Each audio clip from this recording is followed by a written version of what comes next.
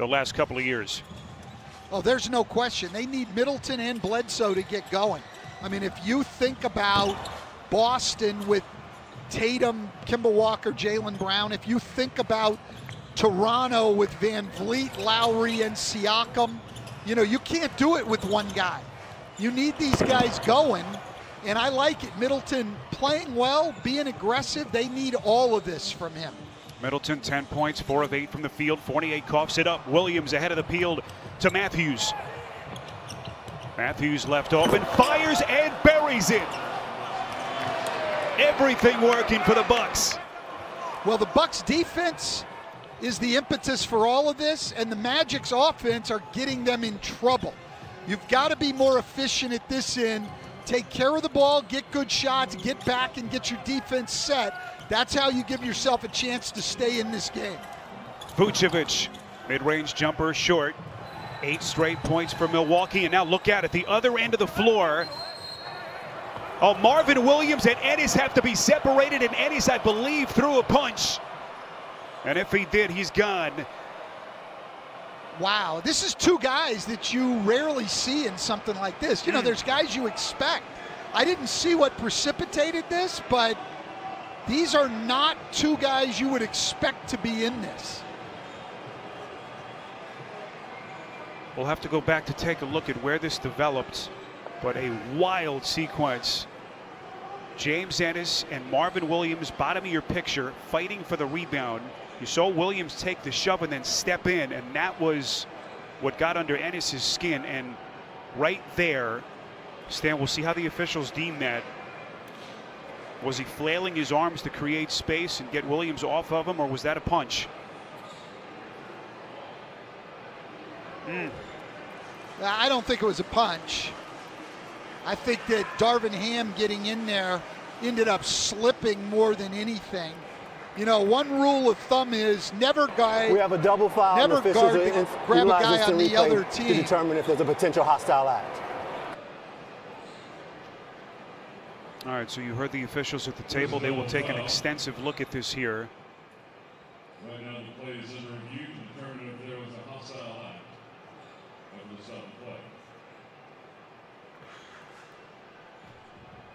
As they look for a hostile act, you know, me as a coach, I think, I would think if I'm Steve Clifford that what Giannis is doing today, to me, is a hostile act coming out and playing like this. I consider that hostile, Spero. I'm with you, coach. You know, it's a different definition.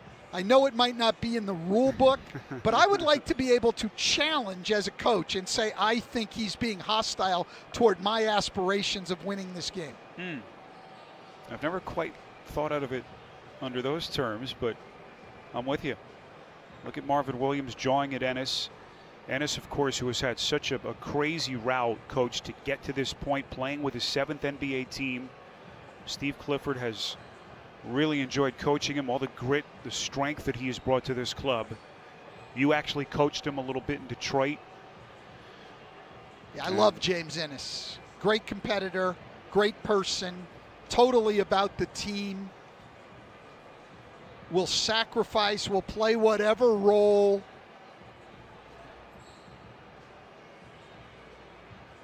Every time one of these fights happen, you always have to pay attention to the benches. Do any players leave the vicinity? It looked like the coaches did a, a terrific job. You see Budenholzer not even looking at the fray. He's looking back at his bench players to make sure everyone stayed put. Absolutely. I mean, that's something that I think everyone in the NBA has has learned. It's something that every coaching staff talks about. And your first reaction as a coach all the time is – to turn around and make sure your players stay on the bench. Quite honestly, a little easier in this situation here in the bubble, the way they have the benches set up. Some of those guys would really have to make a fairly lengthy trek to get around the barrier and everything and get out on the floor. That probably helped a little. I didn't see anybody come off the benches. I don't think we'll have a problem there. I think the issue is going to be whether or not James Ennis stays in the game and whether or not they call that a punch or if he's just trying to free his arm up as right. they're grabbing him, which is what I think he was trying to do. He's certainly not trying to get his fist up anywhere near Marvin Williams' head.